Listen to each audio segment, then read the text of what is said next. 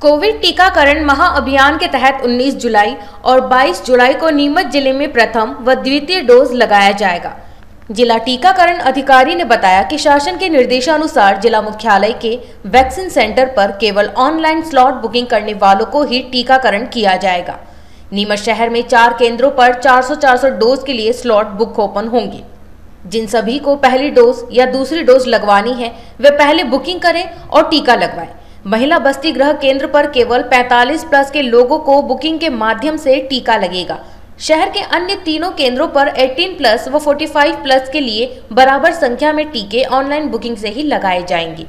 ज़िले में 19 और 22 जुलाई को कोविशील्ड वैक्सीन लगाई जाएगी, जिसके लिए स्लॉट बुकिंग कोविन पोर्टल पर लिंक 18 जुलाई को प्रातः 11 बजे ओपन होगी।